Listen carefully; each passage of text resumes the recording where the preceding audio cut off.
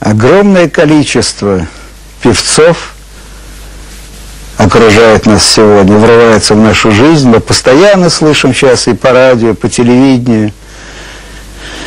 Сменяет одна фигура другую, сменяют имена, уходят в небытие, а на самом деле великих певцов, певиц на свете не так уж много. И вот сегодня у нас с вами предстоит встреча с великой певицей 20 века, Эдит Пиаф. С этим маленьким воробушком, с удивительной судьбой. Когда большой человек заполняет собой пространство, и вы слышите его наполнение – тембральное, звуковое, как-то это все нормально. Но вот когда появляется маленькая фигурка перед вами, и вдруг она вырастает до гигантских размеров в проявлении того, что сидит у нее внутри. Происходит просто чудо.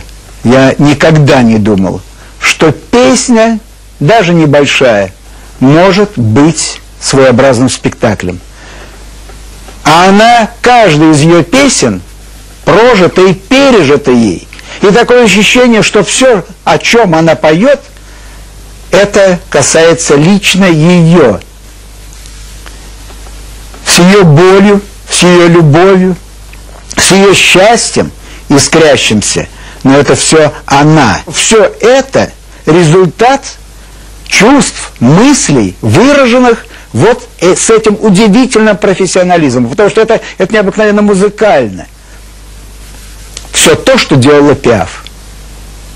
И поэтому, наверное, она так заражала все абсолютно аудитории. Я не знаю людей, которым бы не нравилось Эдит Пиаф. Великое искусство настолько долговечное, что переживает огромное количество поколений.